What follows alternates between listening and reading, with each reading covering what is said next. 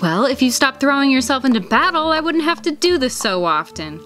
I'm tired of cleaning blood off my wood floor. It's not my fault I had to fight off Alton's knights to save Cato and Arthur. Ha! I'd hardly call what you did fighting. Hey, I saved your- Ah! Would you stop that? All done. Didn't want you to have a glass shard in your side forever. You poor fool. I am not a fool. Well, then I guess you stallions don't need to stay for dinner. I take it back.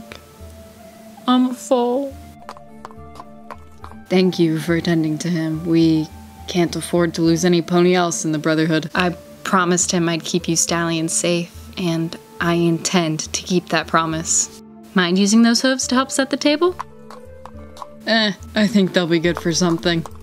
Next night I see I'm stabbing them in the neck. We just need to hang on until we can get the other artifacts out to Alton's hooves. He's become less powerful ever since we got the first one. Yeah, but at what cost? We all nearly lost our lives getting it. We gave our word to the Brotherhood.